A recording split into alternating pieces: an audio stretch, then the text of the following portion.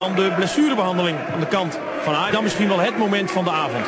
Vertongen wil de bal even terugschieten op Van der Vlag. Die staat iets te ver voor zijn doel en dan scoort Vertongen. Ja, sorry. Is het enige wat hij kan zeggen. Het was absoluut niet zijn bedoeling. Wil die bal gewoon loskeer. Ja, hij heeft een goede traptechniek. Maar het is niet zijn bedoeling. Excuses op zijn plaats, maar het is wel 3-0 voor Ajax. En dan is iedereen die een Cambuur heeft, boven van Jan Vertongen. En dan dit opmerkelijk moment. Cambuur trapt af. Ajax blijft staan, doet niets. Wil Cambuur de gelegenheid geven om dit goed te maken. Dat is nog heel moeilijk. Zimmerman ramt die bal maar naar voren. Keeper Swinkels ingevallen van Vermeer zegt, ja wat moet ik doen? Laat de bal open. Houwing, de sprint.